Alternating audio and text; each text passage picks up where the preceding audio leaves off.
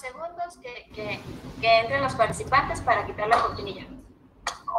La presentación la tienes tú ahí o como la selección está allá.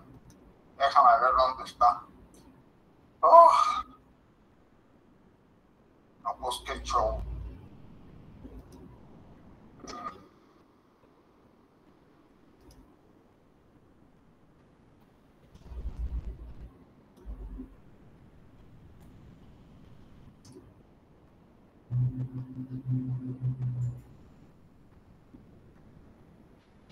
¿Tú tienes la presentación, Aldo?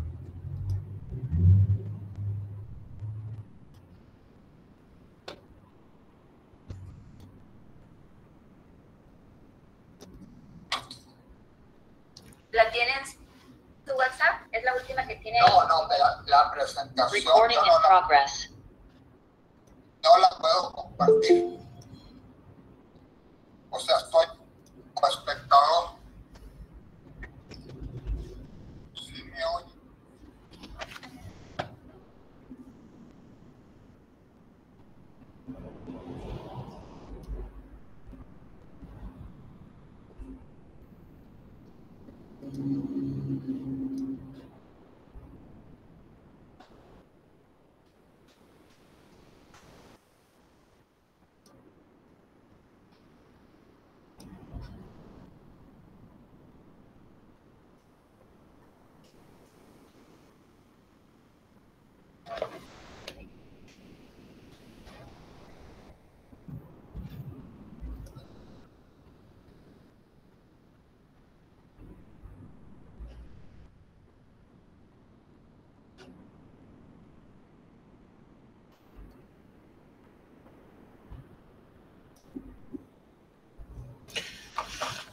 Bueno, pues buenas tardes. Ando, ando aquí queriendo que se vea la presentación, pero creo que no se ve. En una sí se ve, en otra no se ve.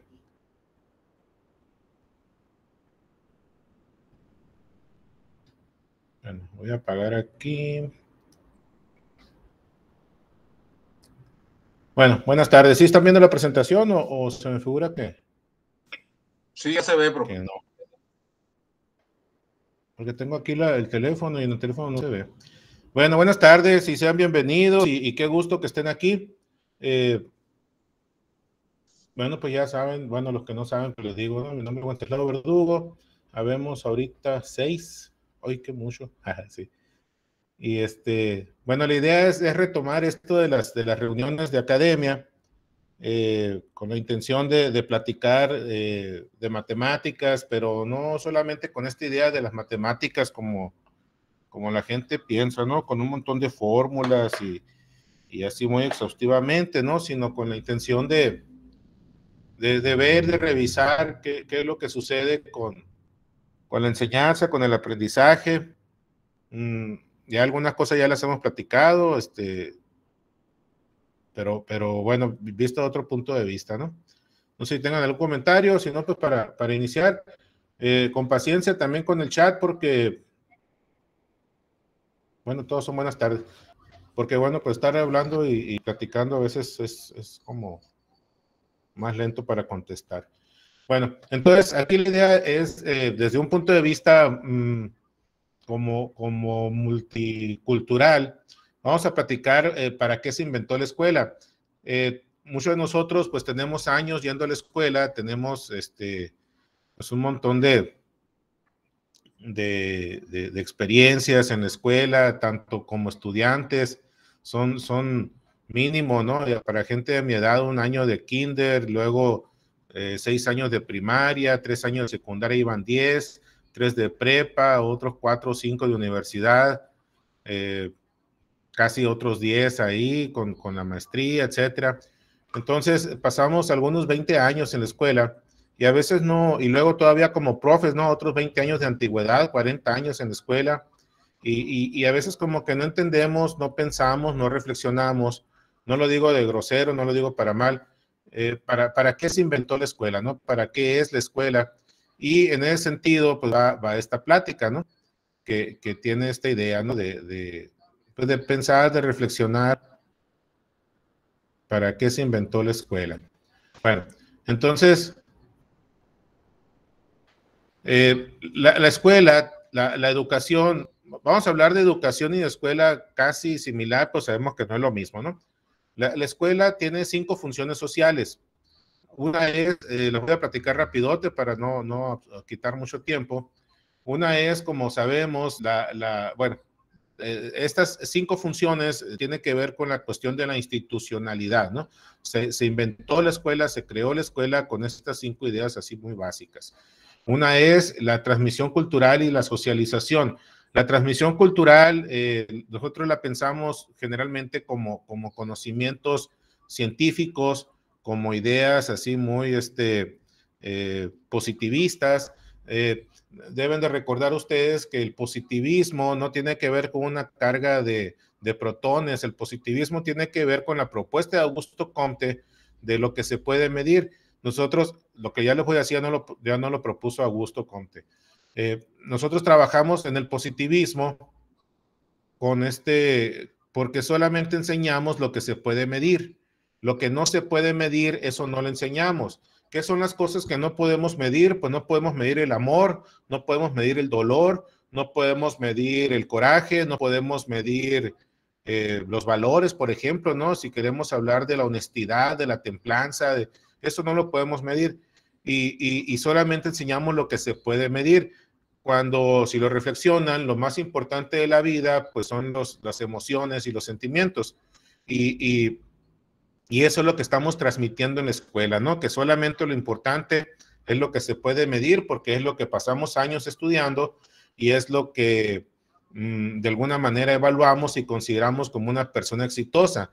Cuando nosotros ya en nuestra vida personal sabemos que muchas decisiones las tomamos por emociones, si no es que todas las decisiones muchas decisiones de consumismo, muchas decisiones de alimentación, muchas decisiones de, pareja, de deporte, las tomamos por, por cuestiones eh, de emociones, ¿no? Por ejemplo, si compramos un carro, nos gusta un carro grandote, pero, pero la parte científica de nosotros, lo que sí se puede medir, eh, lo consideramos como, o lo vemos como este,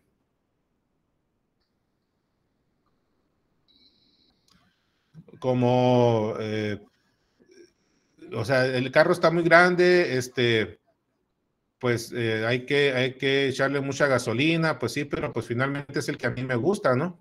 Y entonces, pues sí, es todo. Y ese es el que voy a comprar. Oye, pero es que no te conviene, pues porque, porque, pues traga mucha gasolina y se supone pues que eres un profe de matemáticas que, que sabe calcular el costo de las cosas y sabe calcular, eh, mm, en fin, ¿no? Entonces, ¿qué es lo que pasa ahí? Que, que, tomamos una decisión emocional. Por ejemplo, por ejemplo, ¿qué otra cosa? Por ejemplo, la comida, ¿no? Eh, que sabemos que tenemos eh, problemas de diabetes, diabetes, decían en Cania. Tenemos problemas de diabetes, tenemos problemas de hipertensión, o, podemos tener un cierto problema de alimentación y, bueno, finalmente, eh, pues comemos algo que no debemos de comer. ¿Y, por qué pasa eso? Bueno, pues porque, porque, porque queremos comer. Oye, es que no debes de tomarte eso, no debes de comer eso, no debes de, ¿no? En fin. Entonces, muchas decisiones las tomamos por emociones. Y esa es la transmisión cultural que damos en la escuela. No, no la de, no la de, eh, no comer o sí comer, sino la de, la de como tener esta idea de que, de que voy a hacer lo que yo quiera, ¿no?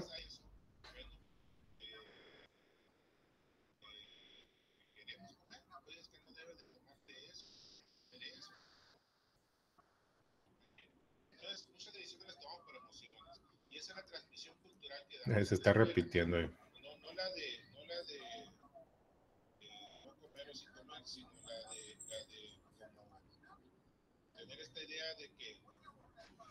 Bueno, y la socialización eh, es también la forma en que nosotros eh, reflexionamos o planteamos la socialización a los chamacos, ¿no? En, mis tiempos era mucha carrilla, lo que ahora le llaman bullying, y, bueno, las formas de socialización han ido cambiando poco a poco. Afortunadamente ya no es tan agresiva la escuela como era antes, pero, pero también este, como que los niños ahora son más sensibles y los que también somos así de mi, generación, como que tendemos a ser más, eh, como así en mis tiempos, así tiene que ser, ¿no? Como que de repente no podemos aprender nuevas formas.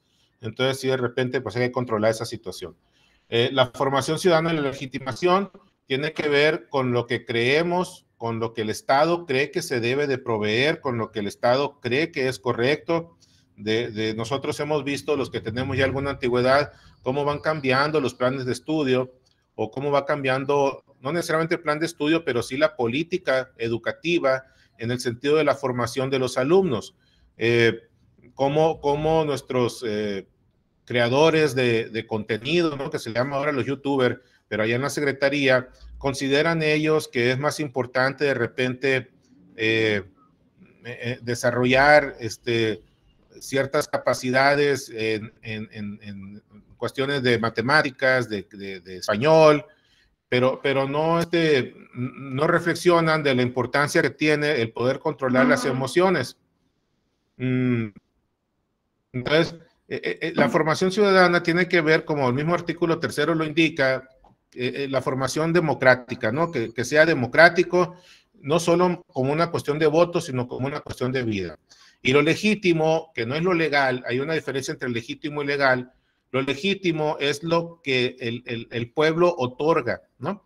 Eh, a nosotros nos dan un título, pueden pensar que es como un título nobiliario, un título de, de duque, de, de, archiduque, de noble, ¿no? Entonces nos dicen, ah, este es el ingeniero, o este es el, el este es el, el, doctor o este es eh, el abogado. Y, ese título que nos otorga la gente es el título legítimo que nosotros tenemos, ¿no? Esa es la legitimación y, entonces decimos, es que si estudió o es que no estudió.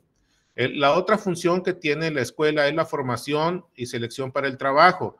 Los que terminaron eh, la carrera van a trabajar de jefes, los que terminar, los que no terminaron la prepa van a trabajar de empleados, ¿no? No, no es completamente cierto, como se lo digo, pero usualmente es lo que pensamos, ¿no? Y la formación para el trabajo se supone que, que en la escuela nos van a dar eh, todas estas eh, características, todas estas como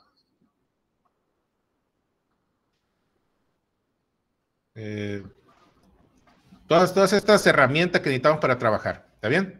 La movilidad social, pues sabemos también que, bueno, la gente que, que estaba muy pobre antes y luego ya estudió, pues ahora ya puede acceder a un sueldo de ingeniero, pues ya se movió uno o dos escalones sociales, no sé cuántos escalones existan ¿no? en la sociedad, pero bueno, como que la gente avanza, como que ya puede muchas veces este, comprar una lavadora o comprar una, una eh, eh, estufa, que simplemente son herramientas pues lo vemos como un éxito, ¿no? Hace poco, como dices, ¿no? Se hizo viral un muchachito que, que alcanzó a comprar su, su lavadora y luego ya él consideraba que, que, era un éxito muy grande porque, porque creo que el refrigerador.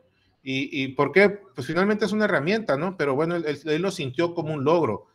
Pero bueno, esa es la movilidad social, ¿no? Que podemos comprar en ocasiones más herramientas. Este, esta última función, la, la quinta función, la custodia de, de, la infancia y juventud, es, se me parece muy importante porque es, es la que, usualmente los profes decimos como, eh, es, es, que los papás creen que la escuela es una guardería y de hecho sí lo es. Nosotros queremos dejar a nuestros niños en la escuela y, este, y, luego ir por ellos a recogerlos a mediodía y que estén los niños completos, ¿no? Que, que nos los entreguen quizás sucios y todos sudados, sí, pero pero aquí está tu hijo enterito, ¿no? Y, nosotros cuidamos a lo más valioso que tiene la sociedad. si recuerdan al flautista de Hamelin, cómo él se cobra con, con, con, lo más valioso que tiene la sociedad, que es la niñez, que es la infancia. Si no, si no hay infancia, si no hay niñez en un pueblo, pues ya no hay este, esperanza, ¿no? Un pueblo, imagínense un pueblo como Hermosillo, sin, sin niñez, pues este, pues no, no hay esperanza, ¿no? Es un pueblo que va a desaparecer. ¿Está bien? Entonces, esta última custodia de la infancia y de la juventud es la guardería, precisamente, y todo lo que tenemos hijos, pues es lo que pensamos, ¿no? Voy a dejar a mis hijos ahí en la prueba a las 7 de la mañana y quiero llegar por ellos al mediodía y que estén completos, ¿no? Que no que estén, eh, luego vienes por un brazo, ¿no? Y nada de eso. Entonces, eh, e, esa es la guardería, ¿está bien? Vamos a ver ahora las eh, definiciones de educación según todos ellos. Lo vamos a ver rapidote. Son seleccionadas y les puse eh, letritas negras a lo que yo creo que es así muy, muy, destacable, ¿no? Eh, algunas son así como polémicas, pero tienen esta idea, ¿no? De reflexionar. Y a lo último puse la mía, ¿no? Y bueno, entonces, por ejemplo, Pitágoras dice que, que educación es templar el alma para las dificultades de la vida. Eh, ¿Por qué? Porque la vida, ¿cómo se relaciona con matemáticas esto?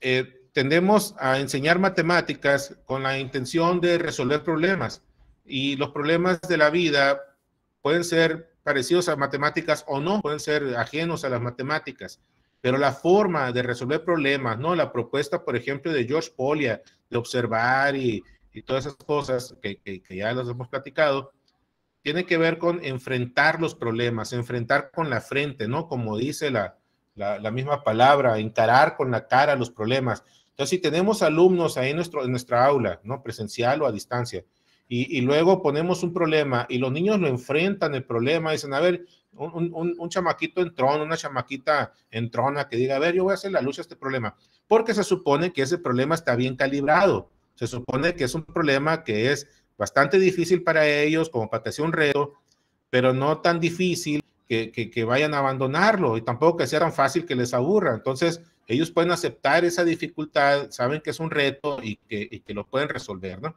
Entonces, esa, esa actitud de entrar a los problemas es lo que eh, Pitágoras se refiere a contemplar el alma, ¿no? Con enfrentar los problemas, con querer resolver los problemas, tanto los nuestros como los de otras, los que podamos de otras personas, ¿no?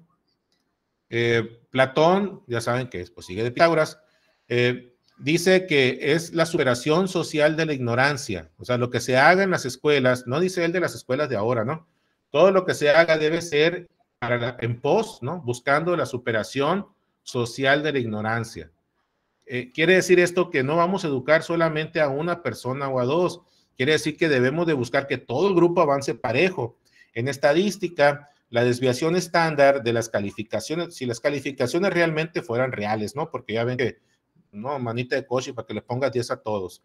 Eh, si las calificaciones fueran reales, la, la, la, desviación estándar nos va a decir qué tan separado está el promedio en, en, en, todos los alumnos, ¿no? Claro que hay un solo promedio, pero qué tan disperso está. Si un, si una, un grupo tiene de promedio 8 y su desviación es de 2 para izquierda y derecha, pues quiere decir que el profe enseñó a unos mucho y otros no enseñó nada, ¿no? Porque quedaron en 6 pero, pero si el promedio es 8 y la división estándar es 0.2, quiere decir que el grupo se lo llevó parejito. Y creo yo que es más o menos a eso se refiere Platón.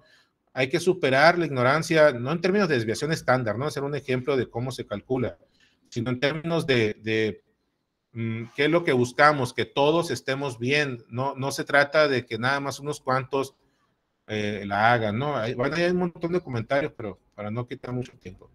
También dice Platón que el hombre es burlado sin siquiera saberlo. Mm, bueno, eso tiene que ver ya con una postura política, pero, pero finalmente así es, ¿no? Como que de repente escuchamos actualmente, ¿no? En aquellos tiempos, pues no había Facebook, no había Twitter, pero, pero sí como que de repente dicen, oye, como que me estás viendo la cara, ¿no? Pues sí, pero igual no puedes hacer nada, o no te estás dando cuenta, o no te diste cuenta de las otras veces, en fin, ¿no? Por eso dice que la educación es la desalienación, o sea, no, no, estar alienados, no estar enajenados con unas ideas. Eh, la educación es liberación y es filosofía de alumbramiento. Alumbramiento quiere decir que es la iluminación, que es contrario a la oscuridad, ¿no? La oscuridad se asume como ignorancia y la iluminación se asume como sabiduría. Entonces que la educación es desalienarnos, quitarnos todas esas ideas que de repente nos tienen amarrados y hay muchas ideas, ¿eh? No, no, no, crean que, que, porque estudiamos matemáticas somos ajenos a esas ideas. Eh, platicábamos ayer, por ejemplo, de, de, de, apagar las velitas de un pastel. No tiene nada de malo, ¿no? No estoy diciendo que esté mal. Nada más que de repente, bueno, ¿por qué apagamos las velitas de un pastel? Pues sabe. Y luego, ¿por qué una por cada año? ¿De dónde? No, e, eso de que tiran, bueno, en fin, hablar de quinceañeras, en fin. Bueno, Después de Platón, este, Hostos, Hostos, pues ya ven que era un filósofo famoso, Aquí me gustó su, lo que está ahí en negritas, que dice, cuando ya esté formado y fuerte, o sea, él habla de una, la educación es como lo que hace un agricultor, que, que él, este, pues siembra y, cuida la planta. Cuando la planta ya está grande, dice, cuando ya esté formada y fuerte, hay que abandonarla a su libre albedrío, que, se usa en la naturaleza y que lo debemos usar los padres de familia, ¿no? Ya está grande, mijito, ya tienes tú que, que buscar tu, tu camino, eh, tienes que tener tu, tu trabajo, no por la cuestión de que como padres no lo podamos mantener, sino por la cuestión de que ellos deben de sentir el orgullo de ellos mismos de ganar su propio dinero, ¿no? De que ellos digan, yo estoy, yo, yo, yo soy honorable, soy una persona honorable, el honor nos lo damos nosotros mismos, eh, la dignidad, de, porque si no, luego la gente le pregunta, ¿no? ¿Cuántos años tienes? 38. Y, y, y, ya te casaste, no, ¿y dónde vives con mi papá y con mi mamá? Y como, ay, qué vergüenza, ¿no? ¿Por qué? Porque la, la misma sociedad así es. Y y no es algo que un padre puede evitar, ¿no? No se trata así de que, ay, ¿qué va a pasar de ti cuando me muera? No, se trata que tú tengas el honor de ser una persona que trabaja y que tiene, se, se mantiene sola, ¿no? Entonces, cuando ya esté formada y fuerte, hay que abandonarla a su libre albedrío. Eso es lo que dice Osto. Jean Piaget dice que la educación es un derecho obligación de los padres. Dice que la educación que recibimos eh, tiene muchos defectos. E, esto me parece a mí muy importante comentarlo porque recurrentemente, hablando de matemática, yo escucho muchas veces que, gente mayor dice, es que es mejor la educación en mis tiempos, porque en mis tiempos, eh, en tercero de primaria ya sabíamos la raíz cuadrada.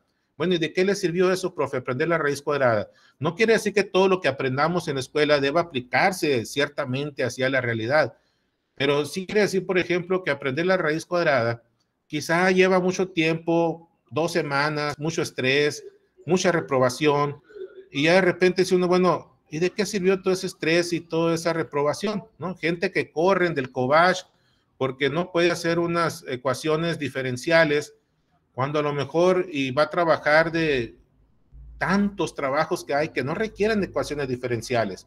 Entonces, eh, la educación, lo que quiero que pensemos aquí es que la educación que recibimos no es, no es tan buena, ¿no? Dejar ese discurso, decirle a los niños, en mis tiempos había cosas buenas, en nuestros tiempos, perdón, así como había cosas eh, malas, ¿no? Ahora también buenas y malas, hay mejores y peores, pero, pero no, no, no creamos, no, no pensemos en eso de que antes estábamos mejor educados. Si nuestros abuelos, padres hubieran estado bien educados, no estaríamos como estamos ahora. Y pues evidentemente nosotros pues estamos mal educados porque también podemos compararnos con otros lugares del país, del mundo, que viven mucho mejor. ¿Está bien? Entonces, como dice Jean Piaget, basta con recordar, Jean Piaget ya tiene un montón de años que falleció, Basta con recordar la educación que recibimos para darnos cuenta de sus defectos, las lagunas de aprendizaje.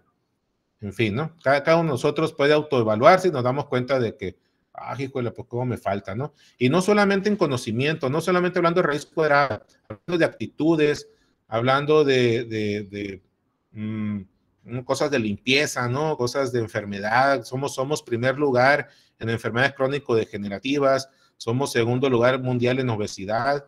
Y, y, eso, o sea, ya somos adultos, ¿no? Si cuando mi mamá nos daba comida que estábamos chiquitos, pues sí, posiblemente es responsabilidad de mi mamá.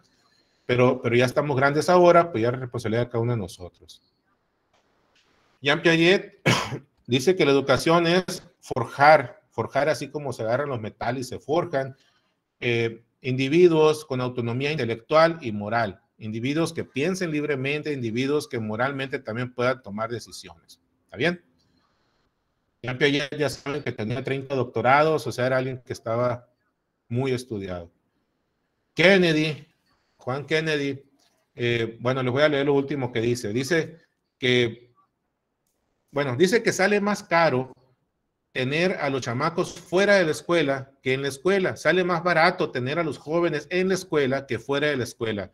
En términos de costos de, enfermedades, de accidentes, de, violencia, de producción, un país que no tiene gente preparada, pues no puede ser un país eh, productivo.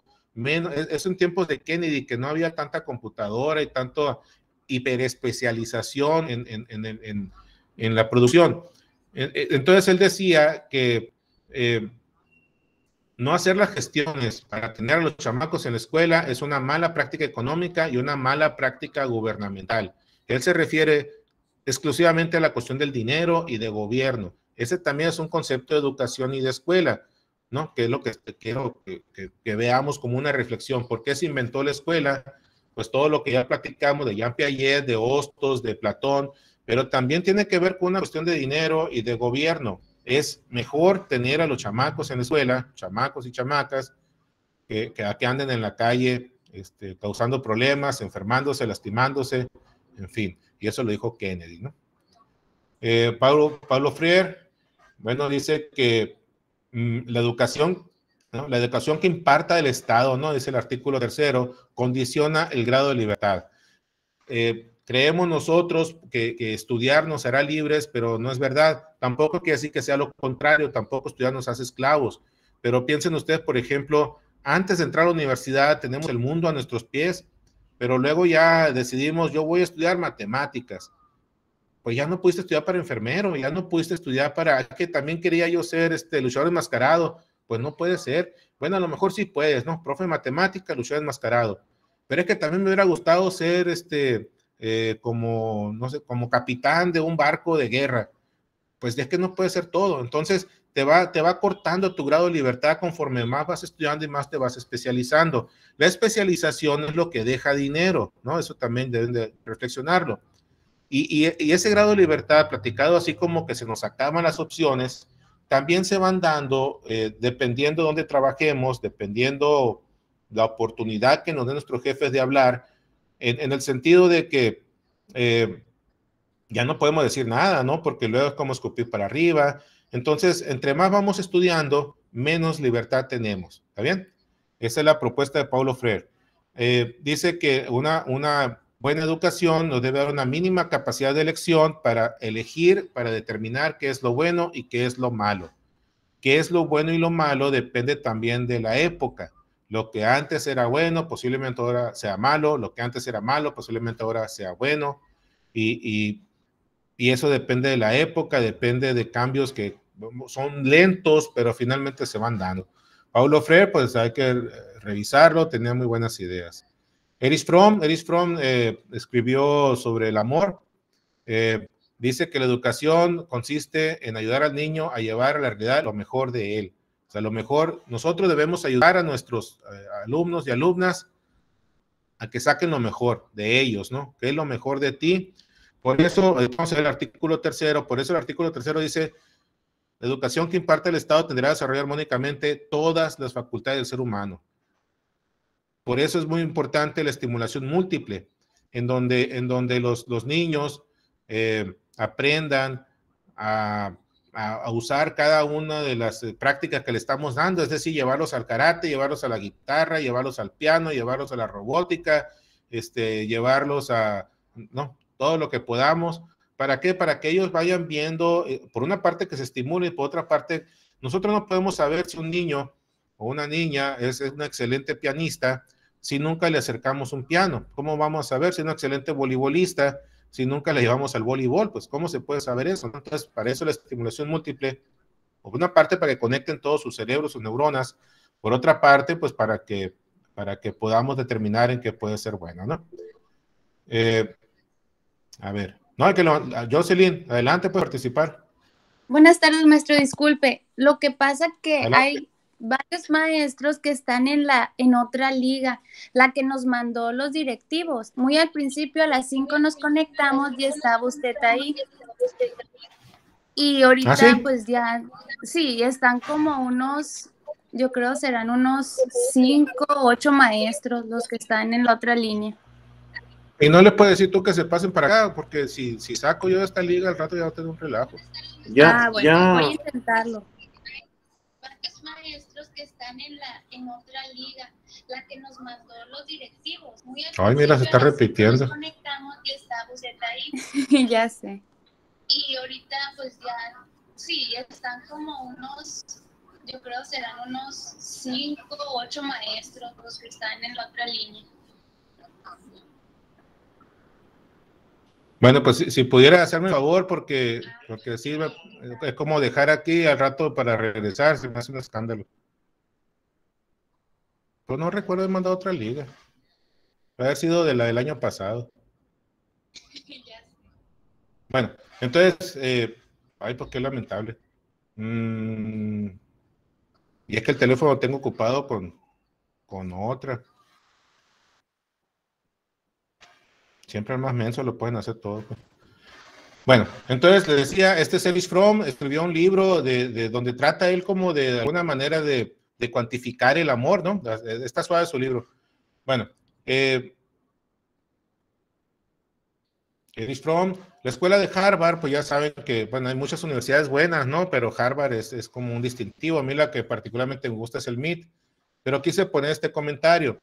Dice, la universidad, me gustó, me gustó porque la, la, las palabras que usa, nuestro objetivo es ayudar, ¿no? Nuestro objetivo, y ese es el objetivo que debería ser nosotros, ayudar. Nosotros no estamos, no nos contratan para reprobar, para, para hostigar, para este, ofender, nos contratan para ayudar. Claro que, que en el la manual de funciones no dice, vas a ayudar, pero, pero esa es la idea, ¿no? El que no vive para servir, no sirve para vivir. Entonces, eh, vamos a ayudar a los estudiantes, fíjense qué importante lo que dice ahí, a establecer conexiones entre lo que estamos estudiando y lo que pasa en la vida real. ¿no? Muchas veces, si no es que casi siempre, lo que estudiamos en la escuela es de la escuela y lo que pasa en la vida real es de la vida real, ¿no? ¿no? Los nenes con los nenes, las nenas con las nenas. Lo que pasa en la escuela es solamente para la escuela y estudiamos para la escuela. De ahí que hay casos, no es, no es eh, la estadística. Hay casos de, de, de jóvenes que son buenísimos para la escuela, puros dieces y todas las tareas y todo muy bonito, y a la hora de la vida real, como que sufren mucho, porque no pueden enfrentar, ¿no? Les decía ahorita, enfrentar con la frente, enfrentar la vida real. Y la escuela de Harvard es, su, como su misión, ayudar a los estudiantes a conectar lo que están estudiando con lo que están, este, eh, a ver, déjenme ver el chat, el chat, el chat aquí está. Conectar lo que están estudiando con lo que pasa en la vida real. ¿Está bien? Y bueno, capacidad interpretativas, y luego puse en negrita aquí la capacidad de resolución de problemas. La gente que nosotros queremos, la gente que resuelve problemas, ahorita vamos a, tomar ese tema. Dice la maestra Verónica, batallé mucho para conectarme. Mm, pues sí, hubo una confusión ahí. Uh, bueno, ahorita le platicamos de eso, pero, pero a lo mejor el del año pasado, no sé. Y si a alguien le digo, van a decir, no, es que mandaste cinco ligas y... Bueno, entonces dice Harvard eso, ¿no? La capacidad de resolución de problemas, resolver problemas, eso es lo que nos va a sacar de pobres, tanto como profes a nosotros mismos como a nuestros alumnos. Eh, sí es importante ayudar a los muchachos con becas, yo no digo que no, eh, hay becas, dos tipos de becas, ¿no? La beca compensatoria y, y la beca de, de, premio, ¿no? La beca de excelencia. La beca de excelencia es la que se le da a los que sacan puros dieces y la beca compensatoria, pues son los que no tienen eh, recursos, los que no tienen dinero, pues para estudiar y esos no requieren sacar puros dieces, nomás con que se pongan a estudiar, ¿no? Entonces, eh, pero finalmente lo más importante es que, que, esos alumnos, tanto los de becas compensatorias como los de becas de excelencia, como los que no tienen beca, como todos, aprendan a resolver sus problemas para que no sea necesario siempre estarle ayudando. ¿Está bien? En Wikipedia, pues me atreví a ponerlo en Wikipedia, vamos a hacerlo rapidote. Dice, la educación está presente en todas nuestras acciones, sentimientos y actitudes. Más adelante les puse, les puse una pregunta ahí, eh, porque luego decimos, es que hay gente que no tiene educación, y no es así. Toda la gente tiene educación. Que esa educación no sea acorde a lo que nosotros consideramos como buena educación, no quiere decir que no tengan educación, sí tienen educación, pero, pero bueno, no es este, la que creemos nosotros como buena. ¿Está bien? Eh, como dice ahí, la educación está presente en todas nuestras acciones, sentimientos y actitudes, siempre. Eh, según la Real Academia Española, dice educación, acción, efecto de educar, pues sí, crianza y doctrina. Bueno, desarrollo profesional de facultades intelectuales y morales del niño, educar la inteligencia, educar la voluntad. Esta última parte de la voluntad me parece muy importante porque como que es algo que no educamos. Educar la voluntad es como motivar a los, a los niños, a las niñas y a los adolescentes, ¿no? Que ándale, mijito, éntrale, búscale. Eh, desde el 2006, con la reforma educativa, cambió la idea de las matemáticas, de la enseñanza de las matemáticas, y ahora el profe primero debe poner el problema y, y se supone que está calibrado y que, y que, es precisamente para ese tema que se va a revisar. Entonces, lo primero que debe, que debe ser es que el, el, el estudiante vea el problema, intente resolverlo con sus herramientas y luego ya el profe, ya que le hacen la lucha, va pero tú cómo lo hiciste, cómo lo hiciste, ya que el, el, profe va viendo cómo hizo cada quien, pues va buscando y encaminando hacia el método ortodoxo de solución. Pero a veces hasta los profes aprendemos de cómo lo hicieron otros niños. Entonces, al educar la voluntad, educamos la motivación, educamos las ganas, la actitud, en fin. El artículo tercero, este artículo es bien importante que se lo aprendan de memoria, tanto para los exámenes de UCICAM, o los que vengan después como para establecer exactamente para qué trabajamos, ¿no? ¿Qué, qué, qué es lo que hacemos? ¿Qué, ¿Por qué nos pagan? ¿no? ¿Para, ¿Para qué estamos aquí? Porque pues es finalmente el artículo tercero nuestro patrón eh, de conducta a seguir. Y entonces a mí me gusta esta frase y me gusta la palabra que está subrayada. La educación que imparte el Estado tendrá que desarrollar armónicamente todas las facultades del ser humano, todas las facultades por eso hay tanta asignatura en secundaria. Yo no estoy de acuerdo que haya tantas asignaturas, pero, pero bueno, es, así se hizo, ¿no? Tampoco estoy de acuerdo que sean cinco horas de matemáticas a la semana, pero esa es otra historia. Entonces, todas las facultades, todas las facultades hay que pensar, eh, yo, eh, dice armónicamente también, ¿no? Yo me imagino que, que, no sabemos cuál es una facultad, ¿no? ¿Qué es una facultad? No, pues no sé. En el, canal 5 del de, de XHGC decían, en el canal 5 decían, este, eh, solicitamos su apoyo para buscar al profesor Wenceslao Verdugo, quien sufre de sus facultades mentales, ¿no? Y, y, bueno, ¿qué es una facultad? Ahora, y aquí dice que vamos a desarrollar armónicamente todas. Esto se escribió hace 100 años y, hay que desarrollar armónicamente todas. ¿Qué es armónicamente? A mí se me ocurre que es como una orquesta, ¿no? Donde arriba tú subes al, violín, tú vele bajando un poquito ahí a, no sé, a la, flauta y así, ¿no? Como, como ponte este más Nintendo, menos Nintendo, en fin. Eh, perdón. También el artículo tercero dice, el criterio, bueno, en fin, luchará contra la ignorancia y sus efectos una cosa es la ignorancia, ¿no? El no saber, pero lo, peor de la ignorancia es sus efectos. ¿Qué efectos causa la ignorancia? ¿Qué efectos causa el no saber? ¿Qué, qué, cuáles son los problemas de no saber? Pueden ser problemas físicos, por ejemplo, por alimentación. Eh, antes, por ejemplo, se usaba el añil, el añil ese de polvito azul que nos daban para aliviarnos del estómago. Y, y había quienes, aquí estamos platicando también hace unos días, les daban añil con, con aceite de, de, ricino y ambos dos son venenosos. Entonces, puede ser que, que nosotros, bueno, no, no nosotros, otras personas que no conocemos, pues traigamos un problema aquí en el estómago, un cáncer ahí latente y, y, y de repente decimos, bueno, ¿por qué le dio?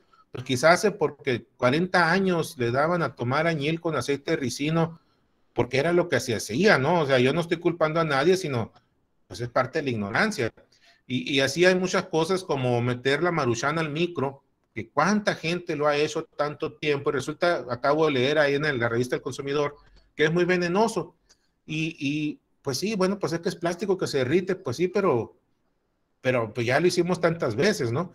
Entonces, eh, los efectos de la ignorancia pues van más allá de solamente la comida, ¿no? Lo estoy platicando así como para que se den cuenta de que son cosas inocentes, ¿no? Si, si a nosotros nos daban añil, era para ayudarnos, para aliviarnos, no era para envenenarnos, desde luego, este, eh, comer cinco, seis, ocho tortillas de harina al desayuno, pues no era porque no nos quisieran, era porque nos querían mucho, pero resulta que ahora son muy malas, no tanto como el añil, y, y así, ¿no? Una tras otra. Puede haber cosas de la escuela en la que le estemos regando y, y nosotros decimos, pues es que siempre ha sido así, pues sí, pero no debe ser, ¿no? Y ya nos podemos ir a temas políticos en la que la ignorancia tiene unos efectos muy graves ya en la, en la cuestión del desarrollo social. Dice que, fíjense qué importante esto de aquí, lo que está en negritas, eh, debe asegurar nuestra independencia económica. Eh, no, no, le quise poner aquí cuestiones de, de mm, como emocionales y todo eso, ¿no? Independencia económica. Cada vez, cada vez nuestros jóvenes van a, van a vivir en casas más chiquitas, más costosas, más pegaditas, cada vez van a vivir más estresados porque tienen que tener dos o tres trabajos, cada vez van a vivir con una eh, esperanza de enfermedad mental más grande, cada vez hay más enfermos mentales, quizá porque ahora sí se detectan y antes no, esa puede ser una esperanza, pero, pero si ustedes lo revisan, cada vez van a ser más infelices, ¿no? Cada vez va a haber más estrés. Eh, la independencia económica no, no implica solamente como eh, dejar de pedirle dinero a mi mamá o a mi papá, implica que, por ejemplo, fíjense, eh, que, que, cada familia de, mexicana, un papá, una mamá o dos hijos o lo que sea, pueda tomar un vuelo a, a Guadalajara una vez cada dos años puede ir al DF una vez cada dos años, sin, sin, sin que sea algo grave ¿no? en, su, en su economía, sin que tenga que pedir préstamos. O sea, que sean independientes, que puedan vivir bien, que puedan, no, no estoy hablando de comprar carros Mercedes ni, ni, ni de viajes a Europa, pero sí de cosas que, que, vivan bien. ¿Y cómo se logra eso? Pues trabajando, ahorrando, y es toda una mecánica que, que debemos hacer todos, que no vamos a inventar el hilo, el hilo negro, ¿no? que, luego los jóvenes creen que van a hacer algo muy novedoso y van a ser millonarios en, dos horas. Eh, eso no sucede. Y, eso también es lo que debemos de enseñar. Eh, bueno, aquí también me gustó esta parte que dice igualdad de derechos de todos, de todos, todos. En aquellos tiempos no se usaba todes, ¿no? Pero dan de cuenta que lo están leyendo, al hablar de todos se refiere a todo mundo, todos somos iguales. Eh, tendemos en la escuela de repente a etiquetar, a separar, a, decir este está bien, este está mal, más inteligente, menos inteligente, más vago, menos vago, en fin. Pero, pero finalmente todos tenemos los mismos derechos y, y, así es como lo debemos de ver en nuestra clase de matemáticas, ¿no? Según yo, bueno, la educación debe formar personas útiles. Eh, lo contrario de útil, pues es un inútil. Y, y, luego los que tienen hijas, yo no tengo hijas, pero luego los, las mamás le dicen, no te cases con ese porque es un inútil pues yo se lo voy a quitar, ama. No, lo inútil no se quita, ¿no? Como que es para toda la vida. Y, y, la educación que nosotros impartimos debe formar gente útil, gente que resuelva problemas. Es decir, que, que, que, empezó a hacer un ruidito la puerta de la casa, hay que echarle aceite, o que, o que tenemos que abrir la puerta de una patada porque se hinchó la madera, bueno, le damos una lijadita, a ver qué hacemos, ¿no? Esa es la gente útil, pues la gente que puede, eh, hablando de cosas muy técnicas, ¿no? Cambiar una llanta, pero, pero más adelante, gente que puede programar un robot, eh, gente que puede, este, ¿por qué, por ejemplo, aquí en, en, México no tenemos gente que, que, armes que celulares, ¿no? No hay marcas de celulares mexicanas. El hombre más rico del mundo, o ya no ahorita, ¿no? Pero por mucho tiempo, Carlos Slim, eh, se hizo millonario por la telefonía y no hay celulares de marca mexicana. Eh, eh somos segundo lugar productores de cobre y no se producen motores. Y créanme que he buscado, ¿no? Yo aquí vendo motores, no se producen motores aquí, de, de, lado de cobre, ¿no? Eh, y así puedo hablar un montón de cosas, ¿no? ¿Por qué no hay aquí capital humano? Porque no lo formamos. Entonces, la gente útil, realmente útil, la que atrae dinero del extranjero, si uno de nuestros alumnos hace una aplicación, un jueguito no se acuerdan del Flappy Bird, para mí fue traumático ese Flappy Bird, un juego tan fácil que ganaba 50 mil dólares diarios. Un, un, alumno de nosotros le podemos enseñar a hacer aplicaciones y, y esa aplicación que la venda en 2 dólares.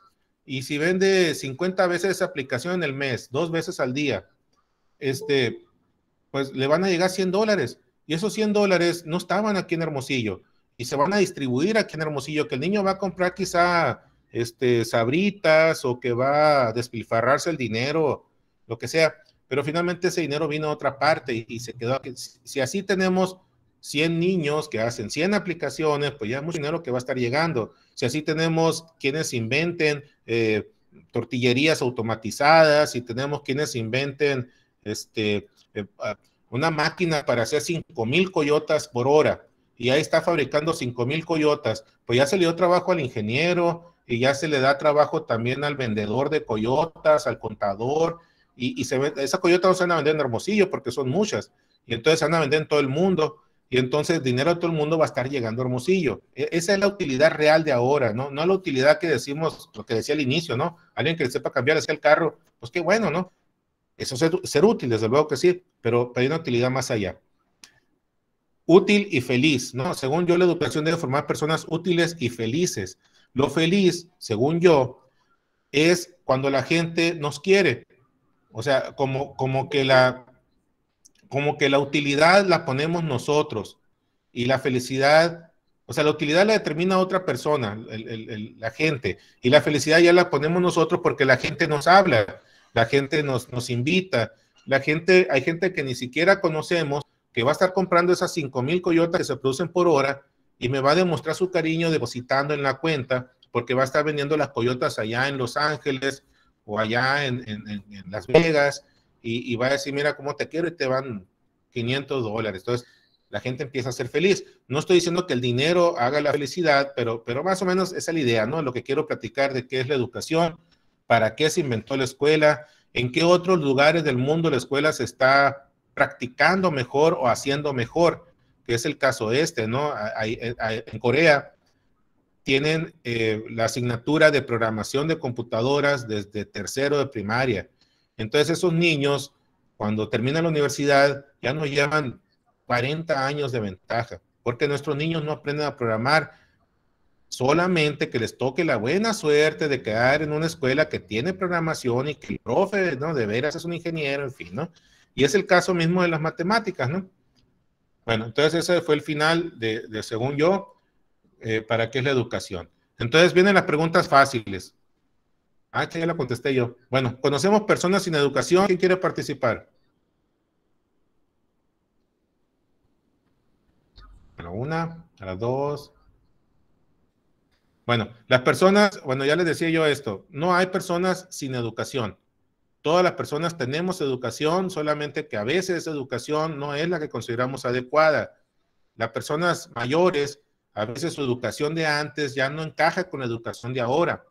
Y, es eh, inadecuado, no es correcto que, queramos juzgar con las reglas de ahora lo que se vivía antes. Y también es incorrecto juzgar lo, lo, que se vive ahora con las reglas de antes, ¿no?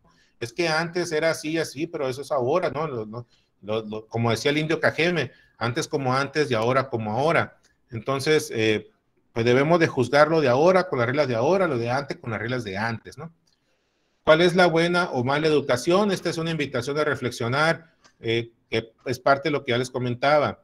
Como profes de matemáticas, creo yo que una buena educación es enseñar a nuestros alumnos a resolver sus propios problemas. Y si pueden resolver los demás, mejor, ¿no? Un chamaco, una chamaca bien educados, son quienes resuelven sus propios problemas y resuelven los de los demás.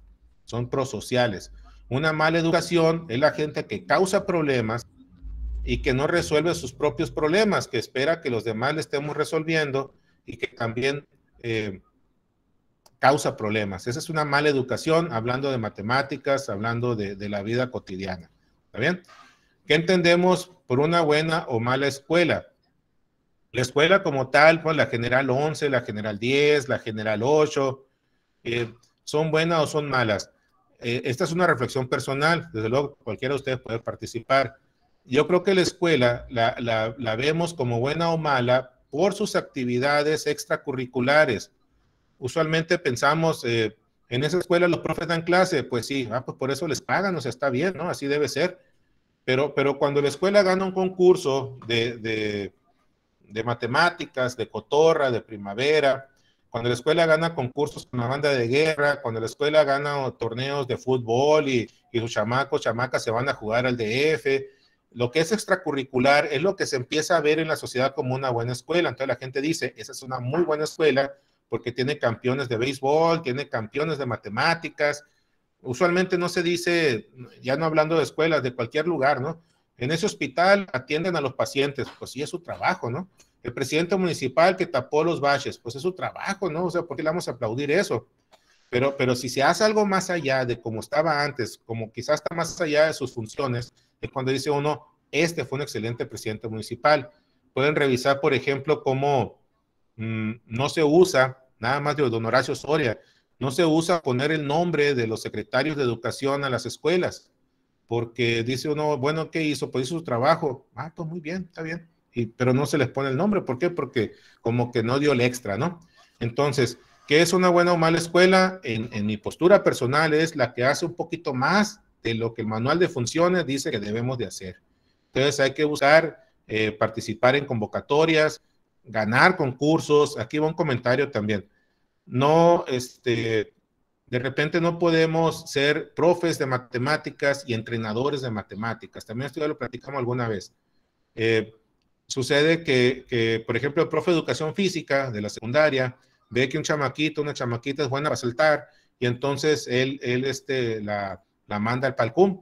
En el CUM le enseña a saltar bien y se hace campeón de atletismo, pero, pero no es el caso así de, de un profe de matemáticas. Pues yo veo que un chamaco es bueno para las matemáticas y a dónde lo mando, pues a ningún lado porque no hay entrenadores de matemáticas y esa es parte de, de lo que deberíamos de trabajar como formar capital humano, ¿no? Capital, eh, entrenadores de matemáticas que nos lleven a ganar concursos, ¿no? En otros estados ya se está haciendo, y aquí, aquí lo pensando, quizá los, los practicantes de, de, la normal o quizá, no sé, ¿no? Algo pudiéramos hacer.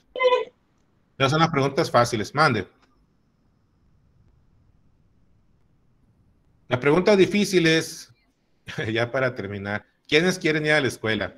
Ahí me queda la idea y, y, ahora con el confinamiento de que no hay muchas ganas de ir a la escuela. No, no lo digo como una crítica grosera, lo digo como una reflexión si no partimos de la realidad, si creemos en, el ideal de que vamos a abrir las escuelas y todo el mundo va a estar en la escuela, eh, no es una realidad esa, es, un ideal. Y es correcto buscar los ideales, pero sí debemos de pensar quién quiere ir a la escuela, qué niños, cuántos niños, niñas quieren ir a la escuela, a qué quieren ir a la escuela, eh, qué van a hacer en la escuela. Eh, esto de la pandemia ya en, marzo van a ser dos años. No sé, o sea, los, los, los, estudiantes quieren ir a la escuela, los profes quieren ir a la escuela, los, los este, directivos quieren ir, los padres de familia quieren ir a la escuela, quién sabe. ¿Quiénes apoyan a la escuela? ¿Qué, qué, qué instituciones, qué organizaciones apoyan a la escuela? ¿A quiénes hemos visto en las escuelas que digan, este, mm, yo voy a apoyar la escuela, ya sea, por ejemplo, la policía que hace el programa este de, de DARE, eh, los bomberos que van y dan pláticas, o hay que corretearlos, o, el DIF, o, quienes apoyan la escuela, ¿no? las, las, industrias, el, el CEARS, eh, CEMEX, ¿no? ¿A quién le importa la escuela? E, es una pregunta que, que, sí deberíamos de hacer constantemente porque siendo la escuela una institución tan importante, realmente pues no tiene apoyo. Y, y, y luego es muy fácil decir, pues es que es culpa de los profes. Eh, los profes, o sea, cuando un chamaquito dice una grosería, eh, dice, eso te enseñan en la escuela. No, no, en la escuela no enseñamos eso, ¿cómo enseñar eso? Pero hay radios que, que tienen nombres groseros. Y una vez tuve una, entrevista y estaba el letrerón ahí, decía, la chingona, decía, ¿cómo, ¿cómo esperan que los profes enseñemos bien si ustedes están con esas palabrotas, pues, ¿no? Y, y, y luego, pues dicen eso alegremente, eso te enseñan en la escuela. Bueno, ¿qué más? ¿Qué pasaría si la educación básica fuera voluntaria? Si no, si la educación básica no fuera obligatoria, ¿irían los, los niños a la escuela? ¿Los mandarían los papás? Sería realmente, tendríamos así 700 chamacos por turno. ¿Quién sabe? Y bueno, en ese sentido, pues ya, es todo. Está mi correo, cualquier cosa, pues con toda confianza. Eh, me llevó exactamente la hora. Ah, bueno, aquí dejar de compartir. Ahí está. No sé si tengan un comentario. Ah, que no veía aquí las manos. Adelante, maestra Elga. Buenas tardes, maestro. Nada más quisiera pedirle un favor. Cuando vuelvan a organizar una reunión, por si nos los pueden mandar con un día de anticipación ahí a Classroom, porque algunos canales de información no llegaron al destino. Mm, pues sí, créame que, bueno, ¿qué le voy a decir? Hace más de un mes que, que envié la, el oficio. Y, y luego recordé las... ¿Eh? Aquí a Classroom. O con los jefes. Ah, ah, no, no, a, los jefes, es que primero tengo que pedir permiso y luego ya que baje la ah, instrucción. Pues bueno, profe, ya que, ya que usted haga lo que corresponde, subirlo a Classroom porque no, no llegó a ciertos ah, lugares. bueno. bueno, la otra se las envío a ustedes y junto con los jefes y bueno, la, la, idea de las reuniones son cada, cada tercer jueves del mes, no hay una explicación así tal cual de por qué cada tercer jueves a las 5 de la tarde, ya me dijo una subdirectora que, que cuando volvamos a presencial va a haber profes de la tarde que no pueden entrar, bueno, pero pues tampoco la podemos hacer los sábados o el domingo, ¿no? Entonces yo, yo pensé que estaba bien el jueves a las 5 de la tarde, cada tercer jueves de cada mes, o sea, una vez al mes nada más eh, ustedes pueden también ahí comentarme qué, temas. Yo ya puse los temas. De hecho, este tema me equivoqué porque eh, iba a ser elementos de una planeación. Pero bueno, ya, ya tenía este PowerPoint que terminé apenas y ya no quise cambiarlo, ¿no? Eh, la idea de estas reuniones, les repito, ya les, ya les mandé también ahí en el, en el, en el correo, pues es formar una academia, ¿no? No, hay mejor forma de aprender matemáticas, de aprender a enseñar, trabajar en academia, eh, participar, platicar, exponer. Eh, mm, ya le hemos platicado otras veces, yo, yo no creo tanto en esta cuestión de, de las, por ejemplo, cuando le llaman experiencias exitosas, eh, yo, yo creo que pueden ser, hablando rapidote, ¿no? Pueden ser experiencias de fracaso también, pero son buenas porque de repente ya decimos, mm, bueno, si así le hizo el profe José Luis y le falló, pues yo voy a intentar, pero le voy a cambiar esto, ¿no? O, la maestra Diana dijo que la regó con esto, bueno, pues yo no lo voy a hacer porque posiblemente la vuelvo a regar también. Entonces, no, no, no todas las experiencias van a ser exitosas eh, y todo ese tipo de cosas quisiera yo platicar aquí, pero tampoco quisiera quitarles mucho su tiempo. Pero esa es la idea de las reuniones, formar una academia, juntarnos. Este, les recomiendo eh, el, libro este que publiqué, que, está hecho con mucho cariño, a ver, se lo voy a poner, br.org. Ahí está mi página. Ahí, ahí van a ver que está libros y planeaciones, ahí están las planeaciones, están los eh, diagnósticos, eh, mm, bueno, lo más que les pueda yo proveer ahí. Mm, me queda la idea, pues, esta de formar personas para que nos ayuden con los concursos. Eh, hacer un banco de reactivos, en fin, ¿no? Bueno, no sé, no sé qué más. Sí, no, no, se preocupen mucho en cuanto, en cuanto, no, no, no paso lista, no se trata de eso, ¿no? La idea, como les decía, es formar así como un jueves académico donde podamos platicar. Va a haber un tema central que es este que, que como el que ya platiqué, y luego comentarios de ustedes. Eh, difícilmente los temas pues van a ser así muy, muy concretos, ¿no? Yo quisiera que me llevaran máximo 40 minutos, pero ahorita me entretuve aquí con, con la plataforma. Y, bueno, pues eh, siendo ya las 6.01, si tengan algún comentario, si quieran este, visitarme allá en la supervisión, aquí en la tienda. Adelante, maestro. Rosario. Sí, sí maestro, buenas tardes. Soy Rosario Ruiz de la Escuela Secundaria General número 3 de Nogales. Eh, este video que está, esta chica que está grabada, ¿no las puede compartir para los compañeros que entramos tarde o como yo que voy entrando que no nos enteramos de la reunión a tiempo? Este, ¿sí nos las puede compartir? Sí, cuando, cuando termine la, sesión eh, aquí grabando, entonces se queda un ratito que la no sé si la rendering se llama. Y luego ya en cuanto la tenga se las mando. O, la pongo en la página, ¿no? Bueno, algún comentario más. Si no, pues con tanto gusto haberlos visto. quedamos pendientes. Ahí tienen mi correo, ahí tienen mi página. Ah, hay una página también de, jefatura de enseñanza en, en, Facebook. También ahí pueden este, pues participar, enviarme, si tienen convocatoria en su escuela, si tienen propuestas, les repito, la idea fundamental de hacer esto es, es que nos estemos comunicando, si, si hay algo allá en sus escuelas, algún torneo en su ciudad, eh, pues hay que comentarlo, lo ponemos ahí en la página de Facebook y ahí nos vamos todos dando, dando cuenta, ¿no? Adelante, maestro Coronado. Eh, profe Wenceslao, un gusto en saludarte. Adelante. Eh, buenas tardes, maestros. Oye, profe, ¿no tendrás en, electrónico los libros de texto, por ejemplo, el del Conecta? ¿O no hay, no, hay, eh, no, hay manera de, conseguirlos, de, buscarlos, alguna página que me recomiendes algo? No me acuerdo si los puse en la página, ¿eh?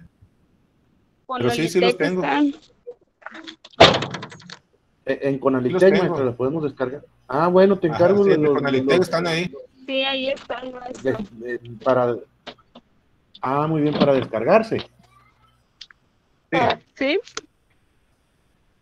Ah, muy bien. Gracias. Y, están los de primaria también, si, si quieren revisar qué vieron, los que dan primero de primaria, pues revisar qué vieron los de primaria para, para, para ver qué les falta, ¿no? Y que, ah, bueno, eso es otra idea también, ¿no? Que me dicen, es que vamos a ni multiplicar los chamacos, bueno, ¿para qué enseñarle a multiplicar? No podemos enseñarle a resolver eh, ecuaciones simultáneas si no sabe multiplicar. Pero es que no me llama se a multiplicar, pues sí, pero no puedes avanzar, ¿no? Ahí le puse la página de, de Facebook. Eh, ahí les voy a poner mi página también.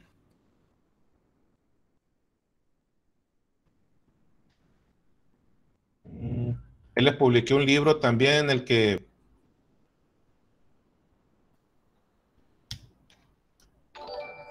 Control C. En ese libro ahí vienen un montón de, ejercicios y así ya dibujados, ¿no? Y los pueden recortar, los pueden aumentar y los pueden aplicar con sus chamacos.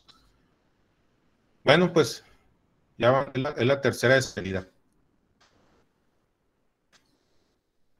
Bueno, dice la maestra Daniela que los libros de Conecta están los de primero, segundo con el de tercero, que es nuevo, aún no está. Está el del año pasado. Eh, aprovechando el comentario, pues espera también que cambie el plan otra vez, ¿no? Y hay que estar pendientes y ahí nos ayudamos todos.